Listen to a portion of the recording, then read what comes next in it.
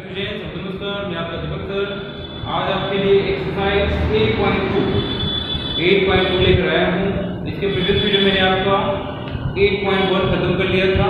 ठीक है जो कि अभी क्लास फोर्थ का था आई होप आप लोग अच्छे कर रहे होंगे, पढ़ाई अच्छा चल रहा होगा आपका। अगर आपको कोई कंफ्यूजन होता है तो please comment on the comment box because I am always ready to solve your questions इसलिए स्टूडेंट्स आपको जहाँ भी प्रॉब्लम होता है तो आप पूछें because I know that you are not present here so you have some question arise your mind कि सर व्हाट इज़ आपने इसको ऐसे कैसे कर दिया? है ना? ये सारे सारे क्वेश्चन आपके माइंड में अराइज होते होंगे। तो अगर माइंड में वो अराइज होते हैं वो सारे क्वेश्चन तो आप क्या करेंगे? आप उस क्वेश्चन को हमें कमेंट बॉक्स में रिप्लाई करेंगे कि sir this is this particular question I have doubt या फिर अगर आपको कोई डॉट है या फिर कुछ कुछ क्वेश्चन से रिलेटेड कुछ भी है तो आप वहाँ पर आप पूछ सकते हैं। और हाँ स्टूडेंट्स आज से मतलब कि मैं ये कहना चाह रहा हूँ कि जिन जिन स्टूडेंट्स जो जो स्टूडेंट्स अगर आप इस वीडियो को देखते हैं तो प्लीज़ जब वीडियो देख लें तो वहाँ पर अगर आप कमेंट नहीं कर पा रहे हैं तो सिर्फ़ मतलब कोई पर्टिकुलर क्वेश्चन के लिए आप कमेंट नहीं कर पा रहे हैं तो सिर्फ़ अपना नाम ही लिख दीजिए कि सर मैंने एक और, मैंने देख लिया। तो आप अपना नाम वहाँ पर लिख सकते हैं, ठीक है? जिससे कि मुझे ऐसा लगे कि मेरे क्लास के कितने बच्चे अटेंड हैं मतलब कितने बच्चे ये वीडियो देख रहे हैं। जिससे मुझे भी एक मोटिवेशन मिले कि मैं इतने सारे बच्चों के लिए यहाँ पर इस लॉकडाउन में, इस कोरोना वायरस पैंडेमिक बीमारी में भी यहाँ पर आपको आपको बता रहा हूँ। तो प्लीज़ बच्चों, जब आप वीडियो देखते हैं तो आप कमेंट बॉक्स में अपना नाम ज़रूर लिखें जिससे कि मुझे मोटिवेशन मिले। ओके चलिए, आते हैं क्वेश्चन पे।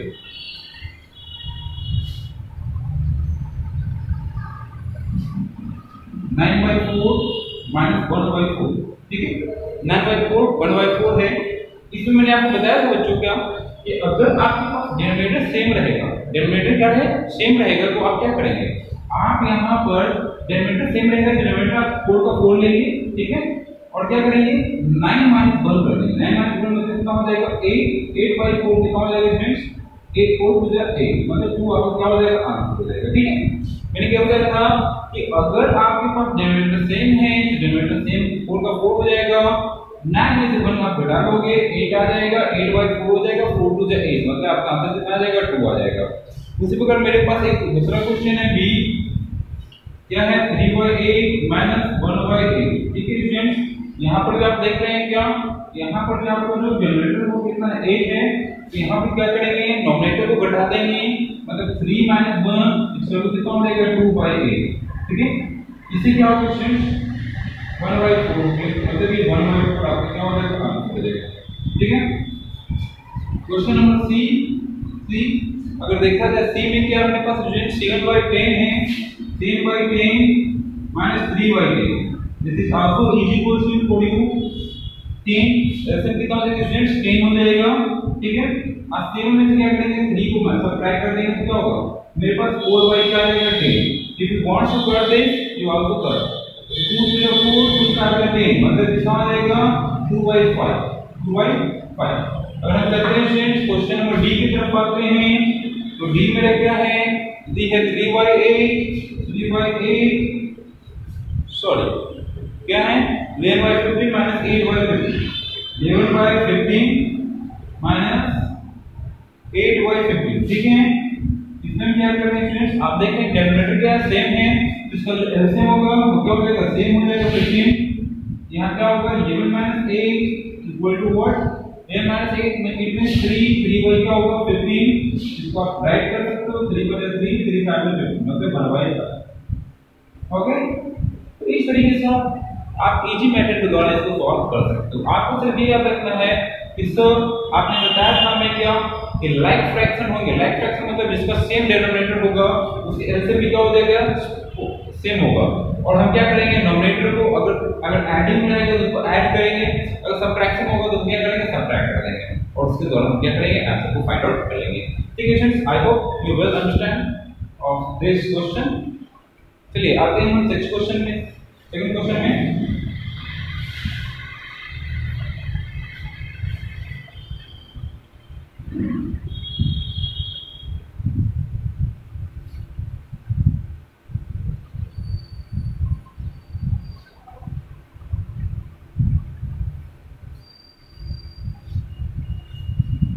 find the difference of find the difference of second question जो है हमारा पास क्या है?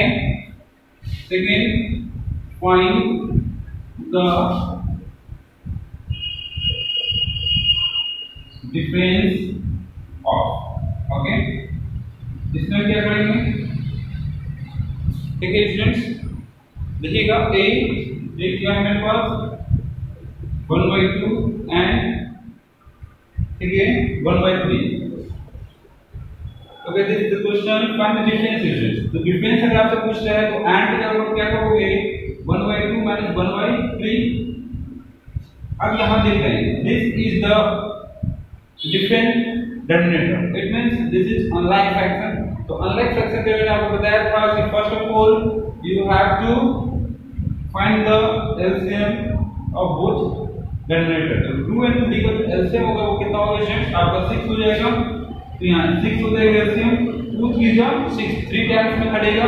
और थ्री मल्टीप्लाई करेगा तो 3 फिर 3 2 जा 6 2 1 में कटेगा 2 मल्टीप्लाई करेगा कितना होगा 2 मतलब आपके आपके पास क्या आएगा स्टूडेंट्स आपके पास आएगा 1 by 6 आंसर ठीक है, कितना जाएगा? 1 by 6 आ जाएगा। बाद हम चलते हैं बी पे। बी क्या है मेरे पास? बी है वन बाई सिक्स एंड कितना है? टू बाई थ्री ठीक है? तो यहाँ पर हम देखते हैं फ्रेंड्स इसका जो एल्सियम अगर देखा जाए तो one by six minus two by three तो वही कितना हो जाएगा थ्री यहाँ पर एल्सियम कितना हो जाएगा फ्रेंड्स सिक्स हो जाएगा। कितना हो जाएगा सिक्स यहाँ वन का वन हो जाएगा।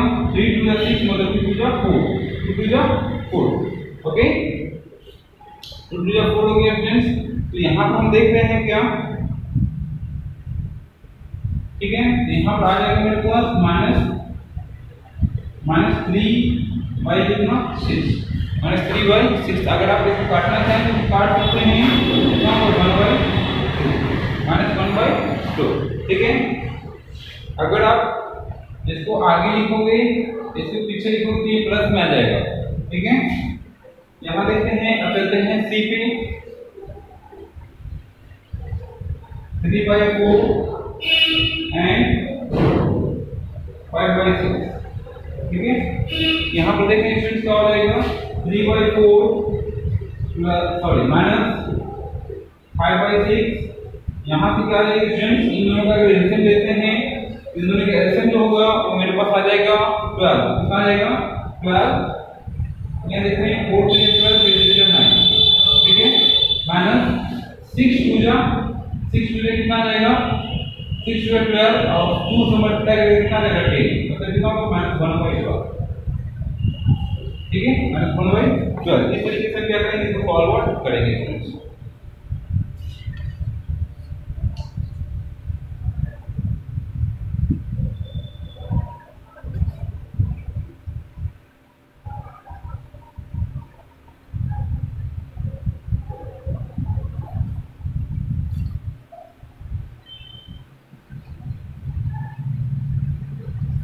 ठीक है? अगर देखें, यहाँ पर देखें, ये इसको, ये तो समझ गए। अब बोले ऐसे नहीं माइनस वगैरह आंसर नहीं देगा तो। माइनस माइनस अगर नहीं दे दे रहा है। तो यहाँ पर क्या करेंगे? यहाँ पर हमको डिफरेंस ही पूछा है। फ्रॉम तो लगाया नहीं है तो यहाँ पे क्या करेंगे? Two by three minus one by six ये कितना होगा? इसका आंसर कितना होगा? सिक्स थ्री टू जा सिक्स टू टू जा फोर माइनस सिक्स वन जा सिक्स वन से मल्टीप्लाई करेंगे वन मतलब कितना आ जाएगा थ्री बाई सिक्स ये काटेंगे वन बाई थ्री ठीक है? उसी प्रकार यहाँ देखेंगे फ्रेंड्स ये कितना हो जाएगा? Five by six minus three by four यहाँ पे अगर एल्सियम लिया जाए तो सिक्स और फोर का एल्सियम कितना होगा स्टूडेंट्स ट्वेल्व होगा। Six to the twelve two five ten minus four to the twelve three to the nine मतलब वन बाई कितना है? ट्वेल्व मतलब वही मैंने बोला था अगर आप उस तरह से क्या करोगे? सब्ट्रैक्ट करोगे तो प्लस में आ जाएगा। ठीक है? तो इस तरीके से आपने समझ लिया कि ये सारे के सारे क्वेश्चन आई होप आप अच्छे कर रहे होंगे। अब देखते हैं एक क्वेश्चन लेते हैं, जिसको आपको थोड़ा सा हार्ड लगता होगा तो ये पास लेते हैं। थर्ड का है थर्ड का ए तो क्या है? Five two by three minus two three by four ठीक है इस बारे में हम क्या करेंगे? यहाँ पर हम क्या करेंगे? स्टूडेंट को समझिएगा three five fifteen fifteen plus two कितना होगा?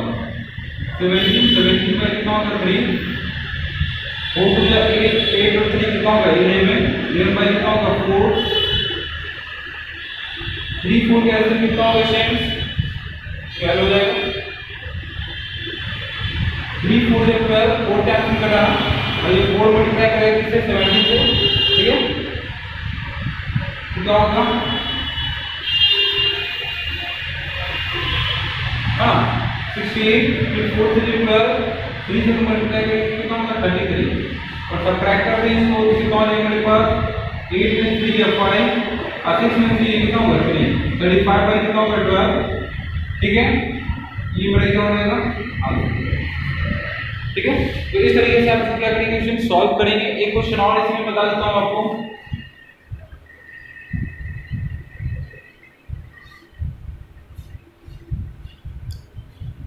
Five, question number B, five five by twelve, minus four, one by six, four, one by six. ठीक है? यहाँ पे क्या करेंगे क्वेश्चन उसमें दिए ट्वेल्व खा जा sixty sixty plus five sixty five by twelve four three twenty four plus one twenty five by six जब इसका एलसीएम किया जाए तो ट्वेल्व सिक्स ट्वेल्व जाएगा। ठीक है?